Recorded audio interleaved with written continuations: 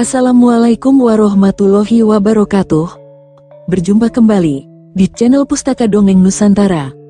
Untuk kisah kali ini, ada sebuah cerita karya Ebes, sebuah kisah yang berjudul Kembalinya Pendekar Pedang Naga Api, episode yang ke-42.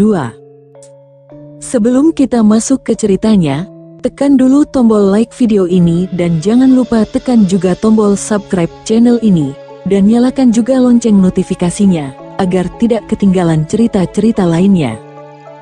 Dan seperti apa untuk kisahnya kali ini, langsung saja kita masuk ke ceritanya.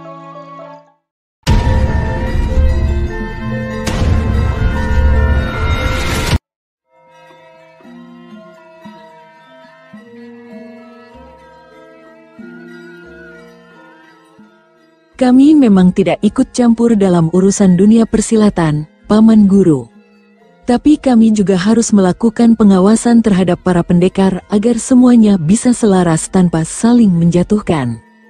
Paman Guru sendiri akan memilih siapa untuk menjadi pimpinan aliran putih ke depannya. Panji Tejo Laksono menatap ke arah Wirotama. Belum sempat Wirotama menjawab pertanyaan tersebut, Resi Linggajati dan Begawan Suradharma datang mendekati mereka berdua. Rupanya pendekar topeng emas kenal juga dengan Tejo Laksono ini ya. Sapa Resi Linggajati menyebut julukan Wirotama sembari tersenyum tipis. Dia adalah salah satu murid padepokan pada Putih, Resi. Bagaimana mungkin aku tidak mengenalinya? Wirotama tersenyum penuh arti. Oh pantas saja aku melihat Tejo Laksono ini mengeluarkan ajian tapak dewa api saat mengalahkan kelelawar mata iblis kemarin. Ternyata dari padepokan pada putih, muridmu sangat hebat Wirotaman. Puji Begawan Suradharma sambil menatap ke arah Panji Tejo Laksono. Dia bukan muridku. Begawan Suradharma, aku tidak menguasai ajian tapak dewa api. Jadi bukan aku yang mengajarinya, dia adalah murid terakhir Resi Empu Sakri sebelum meninggal dunia. Jawab Wirotama sang pimpinan padepokan pada Putih. Kedua orang tua itu terkaget mendengar jawaban Wirotama. Namun dengan cepat menguasai diri lalu mengangguk mengerti. Malam semakin larut, udara Gunung Damalung yang dingin menusuk tulang membuat suasana semakin terasa sunyi. Ayam jantan berkokok lantang dari dalam kandang padepokan pedang awan. Menandakan bahwa sebentar lagi pagi akan segera tiba di lereng Gunung Damalung. Perlahan gelap malam terusir dari angkasa, berganti dengan langit cerah di ufuk timur. Cericit burung kutilang dan kepodang terdengar riuh rendah bersahutan dari ranting-ranting pohon di sekitar tempat itu. Pagi itu diadakan persiapan pemilihan pimpinan aliran putih yang baru. Para murid padepokan pedang awan dengan sigap dan cekatan menata tempat di serambi joglo besar yang menjadi tempat diadakannya acara pemilihan.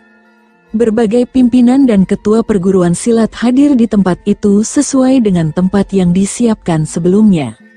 Seorang lelaki sepuh berjenggot panjang nampak duduk di kursi kayu yang ada di ujung tempat itu. Wajahnya yang sepuh penuh dengan keriput dan air mukanya terlihat berwisata meski usianya sudah lebih dari seabad.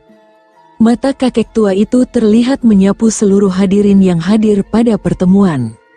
Kisanak semuanya, hari ini akan diadakan pemilihan pimpinan aliran putih untuk ke depannya. Aku harap ajang pernilihan ini bukan dijadikan sebagai tempat untuk mencari ketenaran dan kekayaan pribadi sebagai penerus Maharesi Purnamasidi, silahkan tentukan pilihan kalian. Padepokan Pedang Awan sebagai tuan rumah akan bersikap netral dalam kegiatan ini, ujar kakek tua yang merupakan pimpinan Padepokan Pedang Awan. Resi Empu Wasista, seorang lelaki bertubuh gempal yang memanggul senjata kapak besar langsung berdiri dari tempat duduknya begitu Resi Empu Wasista selesai bicara. Aku Baleman dari Padepokan Gunung Kendeng, mengajukan Dewa Angin Utara sebagai pimpinan aliran putih mengganti Maharesi Purnama Sidi, ucap sang lelaki yang mengaku bernama Baleman itu dengan lantang. Melihat itu, seorang lelaki bertubuh kekar berbaju biru dengan kumis tipis dan rambut bergelung ukel langsung berdiri. Dia pun langsung ikut bicara. Aku tidak setuju dengan pendapat pendekar kapak perunggu itu. Aku setaguna dari perguruan pedang biru mengharapkan agar Resi Guru Jenana Bajra dari pertapaan Gunung Ungaran sebagai pengganti Maharesi Purnamasidi yang telah berpulang. Usai berkata demikian, Setaguna membungkukkan badannya pada seorang lelaki paruh baya yang berpakaian layaknya seorang agamawan di sisi kanan Resi Empu Wasista. Huh apa hebatnya pertapa dari Gunung Ungaran itu, Setaguna. Dia hanya seorang pertapa yang tidak tahu merasakan pahit getirnya dunia persilatan. Dewa Angin Utara lebih cocok sebagai pimpinan, sahut Baleman dengan cepat. Jaga bicaramu, Baleman, Resi Guru Jenana Bajra lebih bijak dalam memutuskan perkara. Menjadi pimpinan aliran putih bukan hanya harus berilmu tinggi, tapi juga mesti bisa adil dan bijaksana dalam mengayomi para pendekar aliran putih yang menjadi bawahannya. Tidak seperti Dewa Angin Utara yang bahkan bersekutu dengan perguruan aliran hitam untuk memaksa bergabung dengan kelompoknya, ujar Setaguna tak mau kalah. Mulutmu sungguh beracun, Setaguna, di dalam pertemuan agung seperti ini, kenapa bisa kau tebar fitnah keji untuk menjatuhkan Dewa Angin Utara? Apa pantas hal itu diucapkan oleh pimpinan perguruan pedang biru sepertimu? Sergah seorang lelaki bertubuh gempal dengan kepala plontos yang merupakan pimpinan padepokan macan putih dari wilayah Kadipaten Paguhan, itu bukan fitnah keji belaka, Gopala.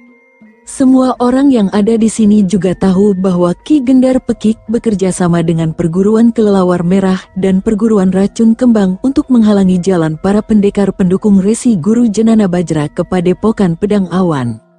Kepala gundulmu itu memang kosong tidak ada isinya, tukas seorang lelaki paruh baya sembari menatap tajam ke arah Gopala, pimpinan padepokan macan putih dari Paguhan. Kurang ajar kau, tua bangka, kau pikir aku takut dengan muha? Padepokan Sriti Guntingmu itu hanya kumpulan cecunguk pengecut yang takut mati. Ayo kita adu siapa yang lebih jago di dunia persilatan ini. Ujar Gopala sambil menggenggam senjata cakar besinya. Saat suasana semakin panas dengan sengitnya perdebatan antara dua pendukung itu dan hampir berubah menjadi bentrokan, Resi Empu Wasista segera berdiri dari tempat duduknya. Apa kalian semua tidak memandangku? Suara berat penuh wibawa dari Resi Empu Wasista langsung membuat adu mulut antara dua kelompok yang bertikai itu terhenti seketika. Suasana langsung berubah sunyi, sekarang aku tentukan tata cara pemilihan pimpinan aliran putih ini agar tidak menjadi petaka bagi pendekar golongan putih. Satu perguruan hanya berhak untuk satu suara. Pendekar bergelar yang aku akui juga punya satu suara. Sekarang kita hitung saja suara siapa yang terbanyak mendapat pilihan dari kalian, ujar Empu Wasista segera. Penghitungan suara itu segera terjadi, Masing-masing kelompok merasa kelompoknya yang lebih unggul dari kelompok lainnya. Setelah dihitung ternyata jumlah pendukung antara Resi Guru Jenana Bajra maupun Ki Gendar Pekik sama. Ini semakin memperkeruh suasana yang sempat dingin, akhirnya kembali memanas. Pun meski dihitung ulang, semua perwakilan dari semua perguruan silat juga sudah hadir di acara. Resi Empu Wasista sampai memijit pelipisnya yang keriput karena posing mencari jalan keluar yang pas untuk semuanya. Saat semuanya masih ribut dengan pemecahan masalah, satu suara lantang langsung membuat semuanya berhenti gaduh. Mohon perhatian semuanya, semua mata langsung tertuju pada Panji Tejo Laksono yang berdiri di belakang rombongan begawan Suradharma dan Resi Linggajati. Perlahan sang pangeran muda dari Kadiri itu berjalan ke depan Resi Empu Wasista. Sebelumnya aku minta maaf karena sudah berbuat telanjang dengan meminta waktu kalian. Aku hanya seorang pendekar muda yang tidak memiliki nama besar seperti kalian tapi izinkan aku untuk bicara. Begini, aku punya sebuah usulan untuk memecahkan masalah pemilihan ini, ujar Panji Tejo Laksono sembari menatap ke sekeliling tempat pertemuan. Anak muda, Cepat katakan usulan apa yang kau punya. Aku sudah pusing memikirkannya, sahut Resi Empu Wasista segera.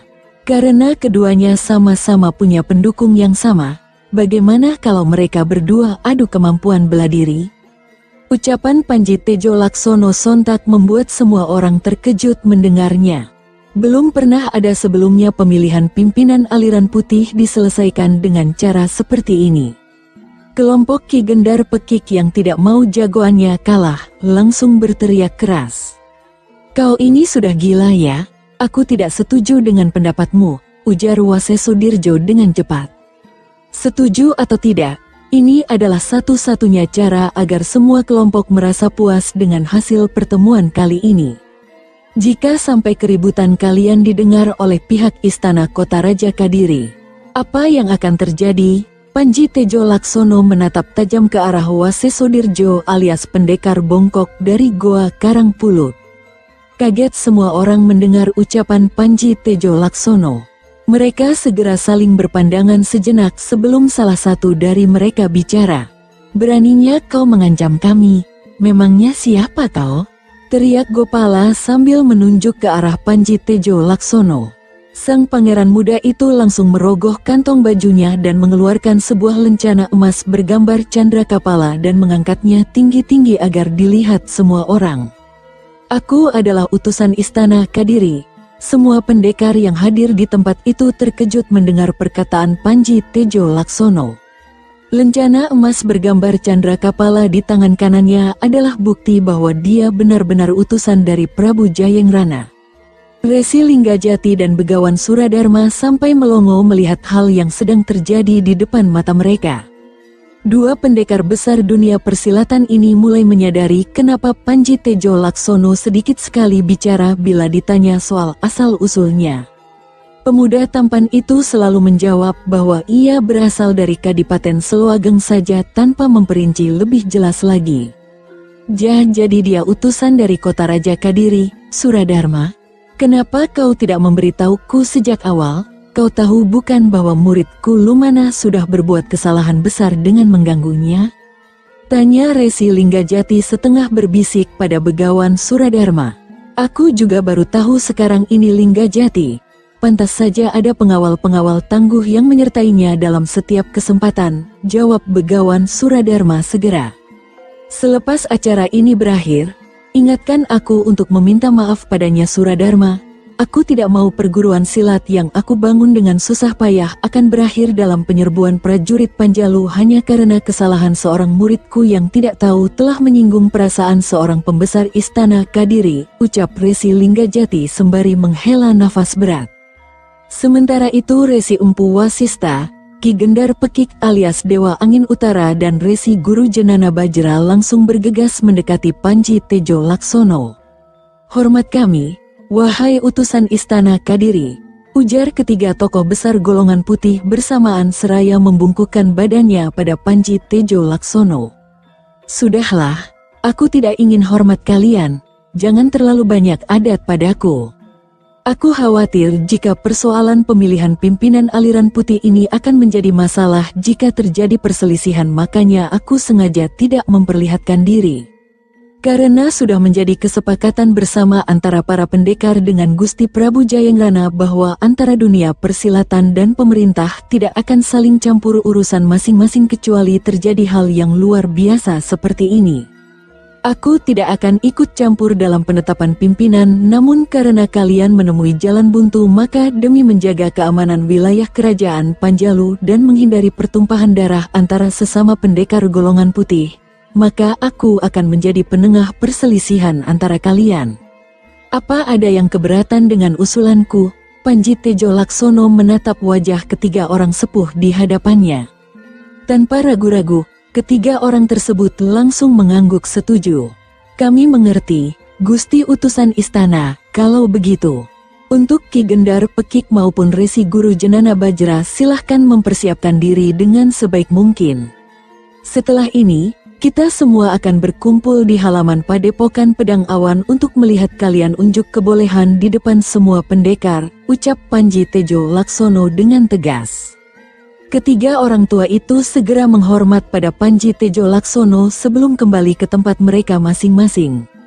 Si pendekar bongkok dari Goa Karangpulut langsung mendekati Ki Gendar Pekik alias Dewa Angin Utara sesaat setelah dia berjalan ke arah kelompoknya.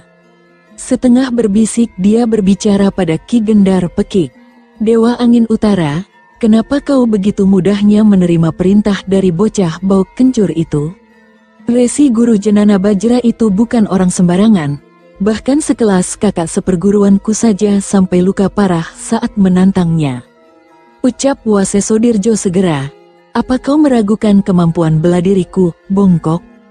Ada nada suara tidak suka dengan suara Ki Gendar Pekik. Bukan begitu, Ki, tapi aku mempertanyakan mengapa kau sangat mudah menerima perintah dari seorang pemuda yang hanya memiliki sebuah lencana emas bergambar chandra kapala itu. Kenapa dia tidak kau hajar saja? Wase Sodirjo masih belum mengerti, kau ini bodoh atau tolol, Wase Sodirjo.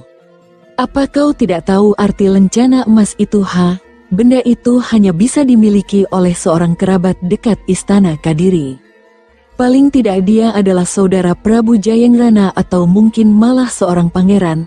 Siapa pun yang memegang lencana emas itu sama dengan dia membawa wajah Prabu Jayengrana kemari. Sedangkan tujuan perebutan gelar pimpinan kelompok aliran putih ini adalah agar aku lebih dekat dengan pihak istana tapi kau malah menyuruh aku melawannya. Apa kau sudah tidak waras? Ki Gendar Pekik alias Dewa Angin Utara mendelik tajam ke arah Wase Sodirjo. Wajah Wase Sodirjo alias pendekar bongkok dari Goa Karangpulut langsung pucat seketika mendengar ucapan Ki Gendar Pekik. A aku memang bodoh Ki, maafkan aku, ucap Wase Sodirjo sembari menundukkan kepalanya.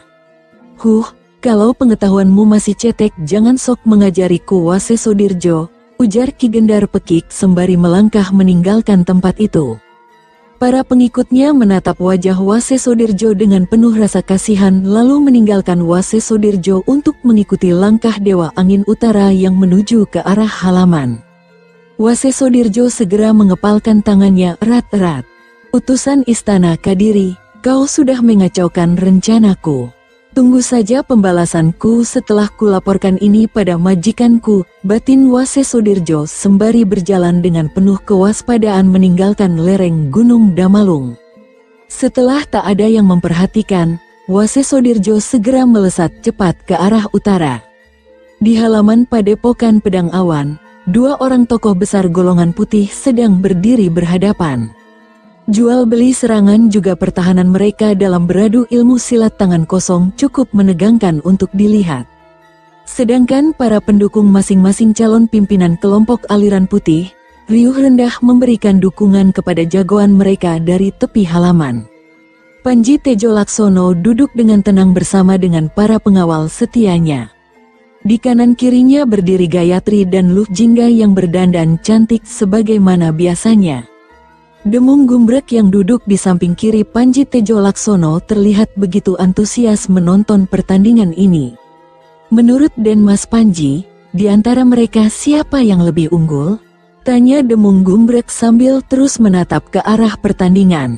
Mereka berdua adalah pendekar besar, Paman Gumbrek. Sulit menentukan siapa yang lebih unggul karena keduanya sama-sama memiliki kemampuan bela diri yang mumpuni. Kalau melihat pergerakan dari Resi Guru Jenana Bajra, sepertinya Ki Gendar Pekik lebih baik dalam penyerangan. Tapi Resi Guru Jenana Bajra juga tidak kalah hebatnya dengan pertahanannya yang nyaris sempurna itu, jawab Panji Tejo Laksono. Ya, kalau menurutku sih, Ki Gendar Pekik lebih baik dari Resi Guru Jenana Bajra itu Denmas. Lihat saja Resi Guru sampai terdesak ke pinggir halaman. Ujar Demung Gumbrek sambil menunjuk ke arah pertandingan di mana Resi Guru Jenana Bajra terlihat mundur beberapa langkah usai mendapat serangan beruntun dari Ki Gendar Pekik. Kau tidak bisa menilai kemampuan bela diri Resi Guru hanya dengan sekali melihat, break. Coba kau perhatikan, meski Resi Guru Jenana Bajra didesak hingga tepi halaman, tapi wajahnya masih terlihat tenang saja. Bisa jadi resi guru Jenana Bajra sedang menjajaki seberapa tinggi kemampuan bela diri lawannya, sahut Tumenggung Ludaka segera. Kau ini kok masih ngeyel, lu, nah lihat itu-itu. Resi guru Jenana Bajra berulang kali hanya mundur dan menghindari serangan Ki Gendar Pekik. Aku yakin pasti dia yang akan memenangkan pertandingan ini. Aku berani bertaruh untuk Nyan, kata Demung Gumbrek sambil terus menatap ke arah pertarungan sengit antara Resi Guru Jenana Bajra dan Ki Gendar Pekik alias Dewa Angin Utara. Yakin kau mau bertaruh untuk Dewa Angin Utara itu, Brek? Tanya Tumenggung Ludaka yang duduk di sebelahnya. Yakin seyakin-yakinnya lu, jawab Demung Gumbrek dengan cepat. Kalau begitu aku ladeni taruhanmu, kalau kau yang menanger aku beri kau sepuluh kepeng perak. Tapi kalau aku yang menang, begitu sampai di kota besar kau harus mentraktir makan semua orang yang ada di rombongan kita. Bagaimana?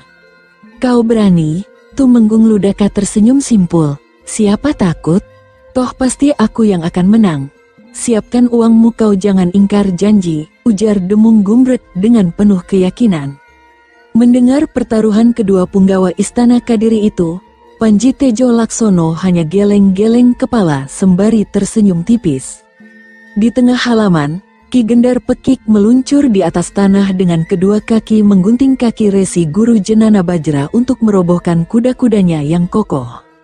Jeriek, kaki Ki Gendar Pekik alias Dewa Angin Utara mengunci pergerakan resi guru Jenana Bajra namun tak berhasil menjatuhkannya, Justru Resi Guru Jenana Bajra malah menekuk lututnya lalu melayangkan hantaman keras ke arah dada Ki Gendar Pekik. Wuk, secepat kilat Ki Gendar Pekik langsung menyilangkan kedua tangannya untuk menahan hantaman itu.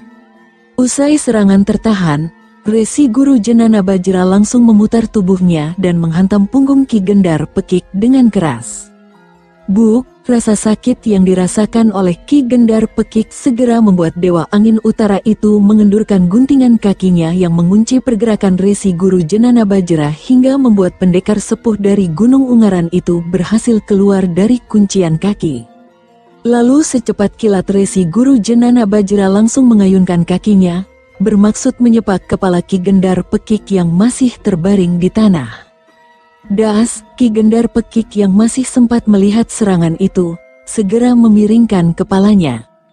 Meski kepalanya lolos dari sepakan keras resi guru Jenana Bajra, namun bahunya masih terkena tendangan keras resi guru Jenana Bajra yang dilambari tenaga dalam tingkat tinggi. Au, lengguh tertahan terdengar saat tubuh Ki Gendar Pekik terlempar jauh ke sudut halaman dan menyusruk tanah sejauh dua tombak, Darah segar mengalir keluar dari sudut bibirnya.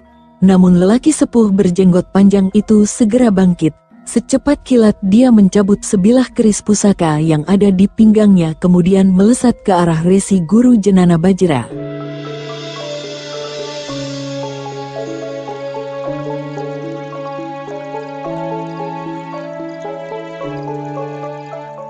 Sahabat pustaka dongeng Nusantara yang berbahagia, Sampai di sini dulu ceritanya. Bagaimana kelanjutan kisahnya? Nantikan kelanjutan cerita ini di video berikutnya. Agar tidak ketinggalan kelanjutan cerita ini, klik tombol subscribe channel ini, dan nyalakan juga lonceng notifikasinya. Wassalamualaikum warahmatullahi wabarakatuh.